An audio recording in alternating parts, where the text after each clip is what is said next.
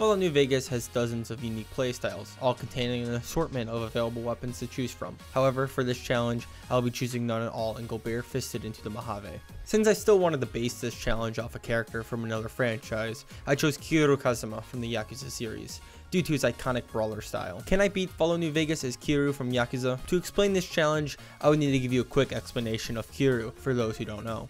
Kiryu is a member of the Yakuza, However, he dislikes the violence and corruption of other members and lives by a strong code of honor and justice. As a part of this challenge, I must help out as many factions as I can, major and minor, so I can achieve one of the best possible endings in the game. Another part of this challenge is to do the side quest, as that's a large staple in the Yakuza series. Finally, the last and most important part of this challenge is that I can only use my bare fists. No unarmed weapons either. I do know it's possible to equip weapons within the Yakuza series, however, I wanted to make this challenge a bit more difficult. Now, on to starting the challenge. First, I started with character customization, which is pretty straightforward for Kiryu. Onto the special stats, I chose a brawler build with a focus into strength and endurance to increase the damage to take out enemies quicker and to increase base health, which is pretty critical for this run as my armor choice was actually just close. For my skill tags, I chose unarmed for the higher base damage, speech for, well, speech, and repair because I didn't know what else to pick. In hindsight, I should have just chosen survival for more health but it's too late now. Now onto the traits. I chose skilled for the extra skill points and wild wasteland to end up in a few extra wacky situations. Leaving Doc Mitchell's house, my first objective was to obtain a grimy business wear suit as it was the most similar to Kiryu's iconic white suit. Luckily for me, I found it in a nearby Goodspringer's house. Now, I was able to officially start this challenge. Starting the run like usual, I completed the tutorial and then moved on to the first quest of Ghost Town Gunfight. Before I met Ringo, I helped Trudy fix her radio, which was one of the only two times I used a repair skill. I met up with Ringo and gathered both Sunny and Trudy for the fight. During the fight, in my current state, my punches bounce right off the powder gangers, but hopefully soon that will change. Once I defeat the powder gangers, I make my way over to Primm, where Geckos showed me who's boss and whipped me into place. Once in Primm, I took out both convicts and entered the casino, to begin Primm's questline. Then, needing to save the deputy, I entered the Bison Steve Hotel, where I was immediately met with hostility from the front desk. The next few convicts were pretty difficult, and this took me a couple attempts before I managed to get past and save the deputy. It required the use of a stealth boy that was picked up back in Good Springs off Joe Cobb, sneaking up behind each of the convicts and fisting their ass using a secret Yakuza technique. Once the deputy was saved, I needed to establish a sheriff in the town. I needed to head over to the Mojave outpost to speak to Knight, so on my way there, I made a quick stop by the Jackals to collect some XP, but this turned out to be difficult. Since I was still at a very low level, my fists were pretty weak. It also didn't help that I did not have many healables either. After a few tries before I can get past them, I finally got out of there, where I saw this wonderful sight of nature on my way out a bark scorpion getting jiggy. I went around the building to get the last members of the jackals, where he kind of just stood still. Once he was taken care of, I leveled up where I put some points into science to get it to level 30 where I can then head back to Primm and establish Primm Slim to be the new sheriff. At the Mojave Outpost, I picked up the usual quests from Jackson and Ghost. I started by clearing out the ants, which was way harder than I thought it would be. After putting up a tough fight and about ready to accept defeat, a hero came along. Once she took out all the ants, I headed to Nipton, going around the jackals to avoid a dangerous fight. Since I wanted to help out as many people as possible, I headed into the building just left after entering Nipton, where a man named Boxcars is found. Boxcars will give a quest to save some other powder gangers from Legion slavers, which I could do later. Reporting back to the Mojave outpost to turn it into a quest, I proceeded to continue my journey, going my normal route up the hill and getting the ambush on the Jackal members. On my way to Novac, I stopped by the Legion camp just to get the marker to come back when I was more powerful, and I continued down the road where I ran into some Vipers. Expecting a difficult brawl from the Vipers, I was wrong. The Vipers threw explosives over in my direction and ended up blowing themselves up instead, leaving wounded Vipers that went down easily. In Novac, I grabbed Boone's quest finding the bill of sale and asking Jeannie to meet me out in front of the dinosaur where her head had a rapid unexpected disassembly. Thinking Novac was done, forgetting about the REPCONN Center, I left for Boulder City. There, I spoke to Jessup and convinced him to release the hostages, helping out the Great Khans and the NCR. My next stop was Freeside. Upon entering Freeside, I was attacked by a thug. To start off helping Freeside for the better, I began with the Atomic Wrangler quest to search for three pro- I mean escorts. I quickly gathered Old Ben from the North Strip entrance and Beatrix Russell from Old Mormon Fort, who were the first two candidates. But for the last one, I needed to head over to Cerulean Robotics where I can find Fisto. Due to my low science skill, I couldn't hack the terminal, so I left in search of enough XP to level up. Luckily, I'd chosen the Wild Wasteland perk where a gaggle of grandmas would be waiting for me outside, ready to beat me down with their rolling pins. They gave just enough XP to level up, but I still didn't have enough science skill to hack the terminal. I left to find a science magazine so I can boost the skill just up enough. I left for the Goodspring Schoolhouse, where conveniently a science magazine can be found. Once I had returned, I hacked the terminal after about a half dozen attempts, and then once I got in, I realized I forgot to grab the holotape. Speaking to Ralph from Mick and Ralph's, I commissioned him to write the holotape for me. I turned back to Fisto and uploaded the programming. I returned to the Atomic Wrangler and completed the quest. The Kings were next on my list. Like usual, I tried to fight Orris, but this time he was too powerful for me, as I didn't have the Piercing Strikes perk to go through his armor. I tried hiring him, but my medicine and intelligence were too low to pass either of the checks. I put the King's quest on hold for the moment and headed over to the Old Mormon Fort to see what Julie Farkas may need me to do. I was first tasked to help some people get clean and bring them back to the fort for recovery. Before either the addicts would go to the fort, I needed to take care of their dealer, Dixon which can be done with a simple speech check. But to fully convince the addicts, I needed a way higher speech skill. So I also had to put this quest on hold. I entered the Silver Rush in hopes to get some XP from their quest, starting as a guard, and then I continued their quest to make the delivery to the Strange Man. This was useless, as it didn't give me any XP at all. I decided to start the King's Quest again, and I hired Orris, where to pass his intelligence check, I used Mentats to boost my intelligence. I continued the King's Quest like normal, bouncing around Freeside until it came time to defuse the situation between Pacer and the NCR.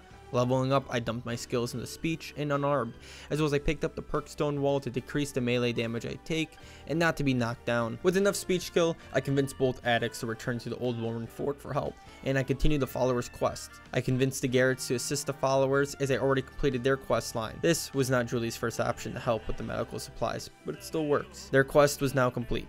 However, they did give me a lead on an unmarked quest, one I didn't realize until editing this video. As I was done with all the groups in Freeside, besides the Silver Rush, I helped the Crimson Caravan Company just outside Freeside. My next task took me to the Mojave Outpost where I had to convince Cass to sell her caravan company, which was easy enough. The second task I was given was over at the Atomic Wrangler, I basically had to infringe on basic workers' rights and force Henry to quit the company. At the Atomic Wrangler, I somehow got transported back to the silent era of films as there was no sound at all. And Henry was glitched, so I couldn't talk to him either. Trying to leave and enter the Atomic Wrangler again, my game crashed. Once I was back in, I illegally terminated the Henry and returned to McLafferty for their last quest pressing matters, where I was tasked to find the source of new bottle caps appearing in the wasteland. At the Sunset Sarsaparilla headquarters, I ran through all the bots and made my way over to the cap press, where I stripped out of all the important components and I left to return to McLafferty for one last time. Now, it was finally time to enter the strip, where my first goal was to go to the tops and deal with Benny. This time, I remember I can talk to Swank and allow me to search Benny's room, where I could meet Yes Man. Speaking to Swank again, I convinced him that Benny needed to go. So I went back up to his room and took care of him. After a barrage of punches straight to his cranium, he finally fell over in defeat and severe brain trauma. Before moving on to any of the quest lines, I decided to head over to Nellis Air Base to assist the boomers in every way I can. On my way there, I spared George from my wrath and dodged the incoming artillery fire. Speaking to Pearl and then the others, I picked up all the quests the boomers would give me. I started with Young Hearts to help Jack find love, and I went back and forth from the Crimson Caravan Company and the airbase until Janet could leave her job and meet Jack. To start Sunshine Boogie, I headed over to Helios 1, which I conveniently marked in the map earlier, and collected all the broken array parts. At the Nellis Array Field, I repaired the solar panels and headed inside so I can drive the ants out and restart the generators. I turned in all the quests and began the final one to raise the bomber from Lake Mead. The bomber was raised and I returned to Pearl where I was granted their assistance. On my way out of the airbase, I picked up the nearby Brotherhood of Steel holotape and I was off to the REPCONN headquarters to pick up the next. After failing the terminal hack for yet another half dozen times, I leveled up where I picked up the Super Slam perk. This perk is probably one of the most helpful perks to pick in an unarmed or melee build as it gives me the chance of knocking my opponents down even when they already have that debuff applied. I made it up through the floors and found the second holotape. Now I needed to pick up the last tape near Hidden Valley. I quickly grabbed the holotape and ran as I did not have enough strength to fight. I went into the Brotherhood of Steel's bunker to begin their questline. Finding Dobson's bunker, I destroyed his radio and left. Since I already grabbed all three holotapes, my next task was already completed. The next assignment was to grab reports from three different Brotherhood scouts around the map.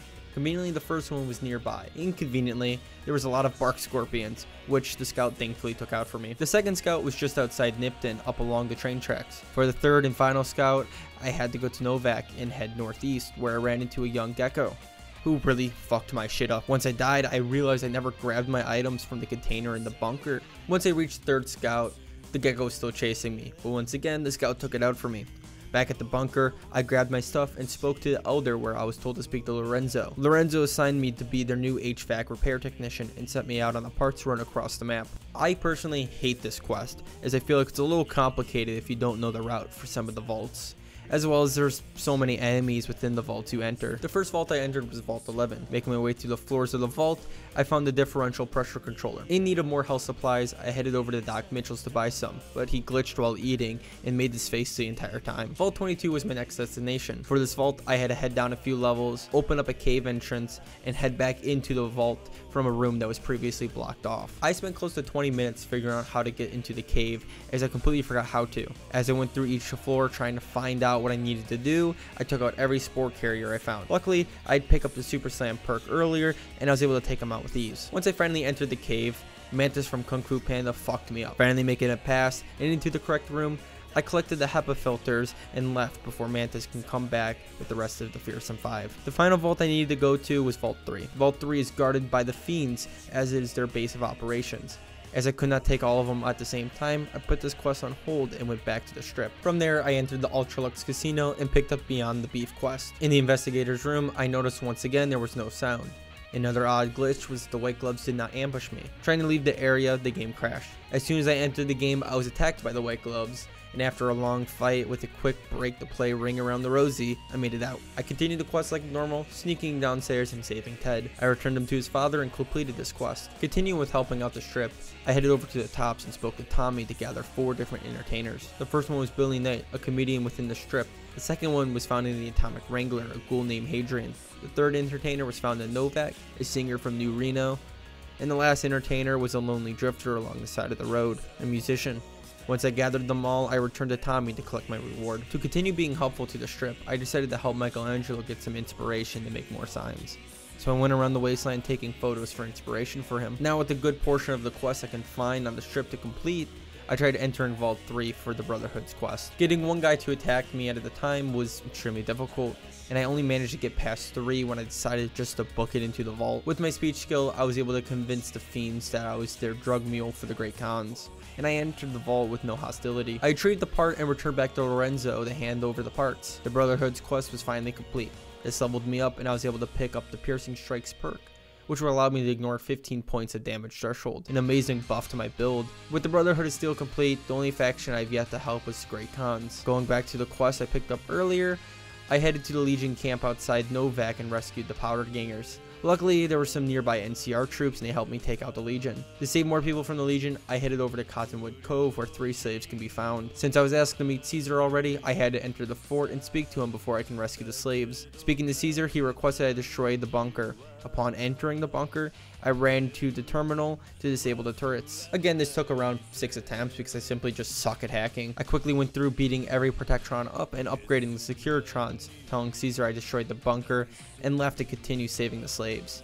I simply bought the slaves from the Canyon Runner and let them go. First, before I can begin assisting the Khans, I needed to begin with the NCR quest line. To quickly explain why I chose this quest line, was that it's one of the better endings that results in the least amount of people dying and the most order being put into place, overall helping out the Mojave. Since I already completed almost all the tasks for the NCR ending, I was able to go through the quest till I was sent to the Hoover Dam where I had to speak to Colonel Moore, where then I was sent to deal with the Great Khans. Since I wanted to assist the Great Khans, I picked up Oh My Papa and began to assist them, starting with Anders, a drug runner caught by the Legion, I let him down and made it over to the fort where the Legion slave ledger can be found to convince Regis. The last task was to assist Melissa. Melissa can be found in an encampment at the back of Junction Quarry, place filled with Deathclaws. To test my strength, I straight up bullied a young Deathclaw thinking I was powerful enough to go through, or at least sneak my way around. But after a few attempts going around the front, I needed to enter from behind. I went back to Good Springs and traveled north, running into Anders again, and then glitching my way into odd areas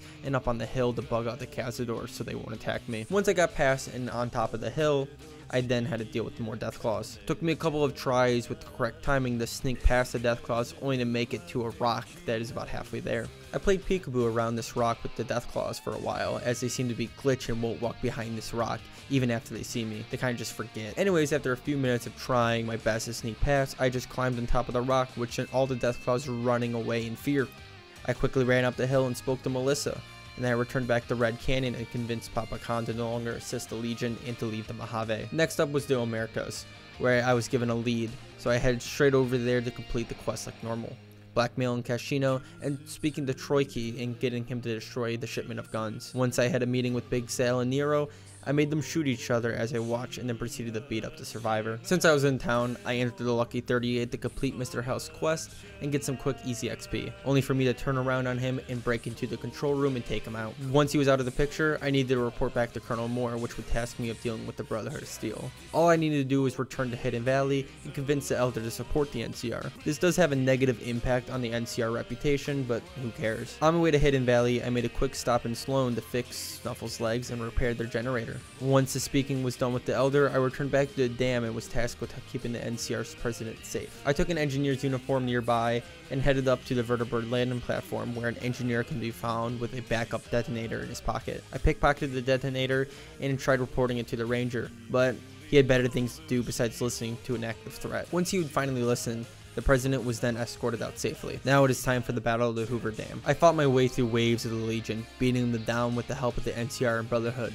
After making it outside, I made my way across the dam, fighting through every inch and not cowering behind a barricade as the NCR does my job. At the Legates camp, I fought the guards up front, which was way harder than expected. Once they were defeated, I made my way over to the Praetorian guards, where I found a technique that would allow me to get in a hit or two on the guards before they can punch me back.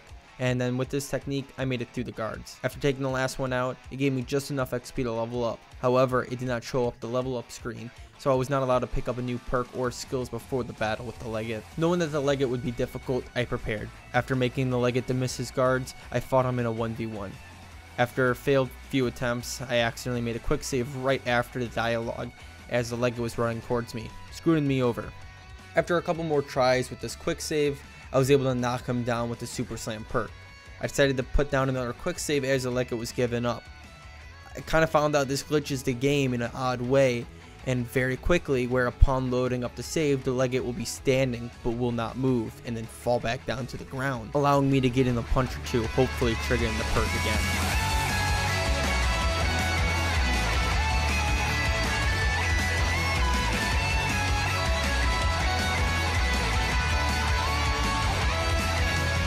Legate was defeated and the NCR claimed victory, proving that yes, you can beat Fallout New Vegas as Kiryu from Yakuza. Sorry for the longer wait on this video. I'm trying to get down a good upload schedule that will allow me to spend more time on each video, either writing better scripts, going through longer games, as spending more time on editing to allow me to make overall better content. If I missed anything in this video that I should have done, have any ideas for challenge runs, or suggestions for other games, please let me know in the comments down below. And while you're down there, don't forget to leave a like and subscribe. See you guys in the next video.